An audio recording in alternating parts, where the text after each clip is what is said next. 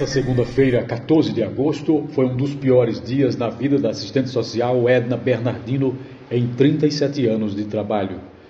Horas depois de iniciar seu expediente no Hospital de Itaporanga, onde prestava serviço há mais de uma década, a profissional foi avisada por emissárias da direção hospitalar que poderia ir embora. O seu afastamento, conforme a profissional, não tem justificativa e trata-se de um ato de perseguição Edna Bernardino disse que recentemente questionou em sua rede social a derrubada das árvores em torno do prédio do hospital, uma medida da direção, e acha que pode não ter agradado, mas conforme ela, isso não é justificativa para um ato súbito, humilhante e violento contra uma profissional que tanto e importante serviço prestou ao hospital ao longo dos últimos 12 anos e meio. Ao ser avisada verbalmente de que deveria deixar o hospital, a assistente social resistiu e contestou a demissão anunciada sem nada por escrito, mas depois teve que ceder em face das ameaças de ser posta para fora pela segurança.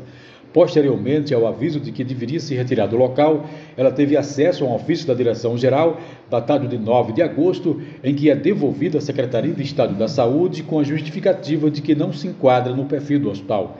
Eda Bernardino, que é servidora do Estado há quatro décadas, disse que foi impedida, inclusive, de retornar ao interior hospitalar para se despedir de seus colegas de trabalho.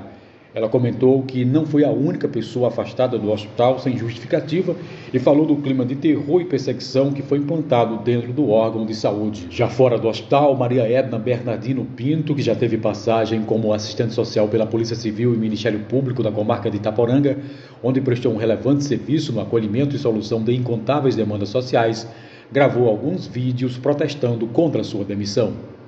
Gente, 12 anos prestando serviço nesse hospital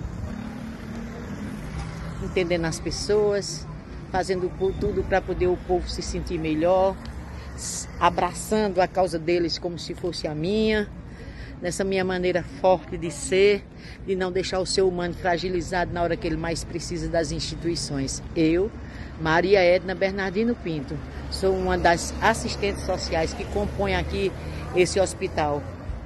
Doze anos depois, chega uma mulher que não entende nada Nada, nada, apenas veio dar uma de, de, de lampião aqui, veio dar uma de coronela e me tira daqui do hospital. Tô aqui chocada, bestificada com a falta do respeito, onde ela disse que eu não encaixo no perfil do hospital. Minha senhora, se eu não me encaixar no perfil do hospital, que eu tudo faço por ele, quem é que vai se encaixar? A senhora? Não, a senhora só está usando as pessoas e metendo medo nas pessoas, saiba disso. Estou dizendo adeus ao hospital.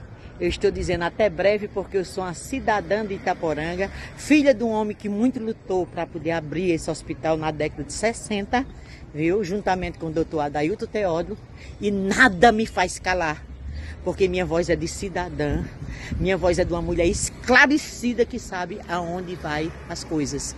E hoje os segurança nem me deixar almoçar, me deixar ir para a porta, sabe? Porque Deus está lá em cima e está vendo como é que eu estou agindo. Estou aqui, ó. O hospital é meu, sabe? Que eu trabalho nele e estou voltando nesses dias. Se Deus quiser.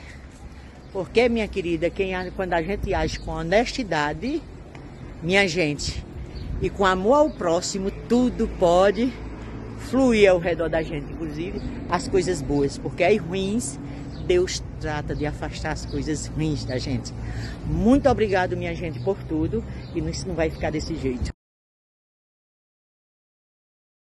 Quer promover o seu negócio? Anuncie aqui no jornal Folha do Vale. São mais de 400 mil visualizações no YouTube e milhares de visualizações em todas as nossas redes. Entre já em contato conosco e anuncie no maior jornal de Itaporanga. Jornal Folha do Vale, um jornal feito por quem tem credibilidade.